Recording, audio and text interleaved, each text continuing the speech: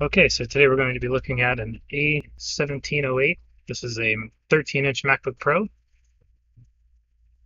This was brought in by a customer who complained that the S key was falling off the laptop. This is the 2017 MacBook Pro. And you can see here that the key is breaking off on one side. If I tilt the laptop, if I can get it to focus, when you hit the S key, you can see it's lifting up on the corner. So we're going to try to replace the key without having to replace the whole touchpad, which is obviously a lot more work. So if I zoom in here, these laptops use what's called the butterfly switch. That's the mechanism for the keys on this model.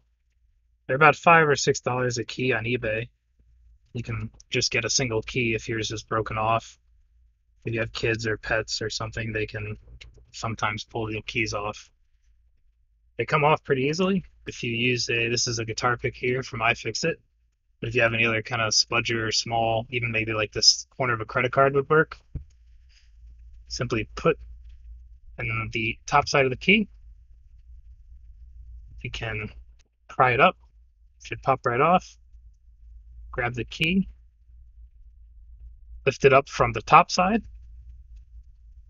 and then the whole key should come off. This is the replacement key here.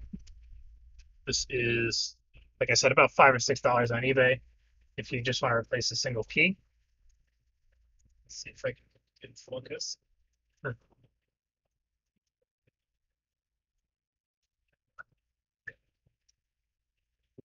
That's the key there. Now, if we look at the broken one under the microscope, I can switch us over to the microscope and take a look at see what that looks like. Okay, so I've got the broken key under the microscope, and you can see that on the corner of the key, the tab that holds it into place has been broken off. So that's the reason why the key wasn't being held on. So if we switch back over now, we're going to replace it with the new key we got off of eBay. And this is the S key, so it looks the same forwards and backwards, so we got to make sure you put it on the right way. Um, if you look at it, the let's see if I can get this closer.